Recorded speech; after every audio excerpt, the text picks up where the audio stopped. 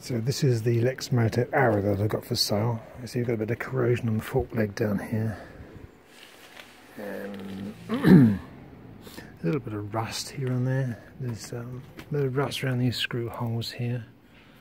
This paint is flaking off, flaking off a bit there. This doesn't stay in position.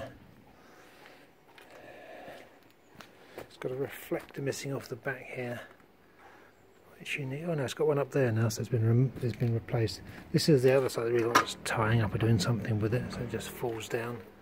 But actually, the rest of the bike, all the levers are in sort of usable condition. That's how we started up.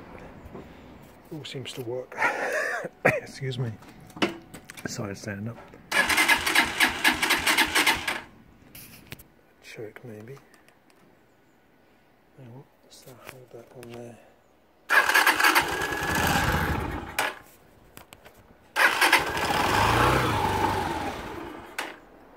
I can't hold the choke at the same time, but anyway, it sounds just fine.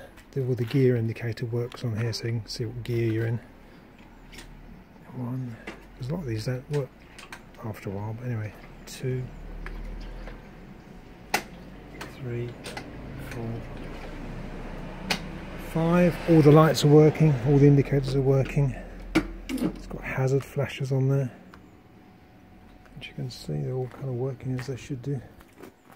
The bike looks usable, but it's a bit old, you know. But anyway, got any questions, just ask.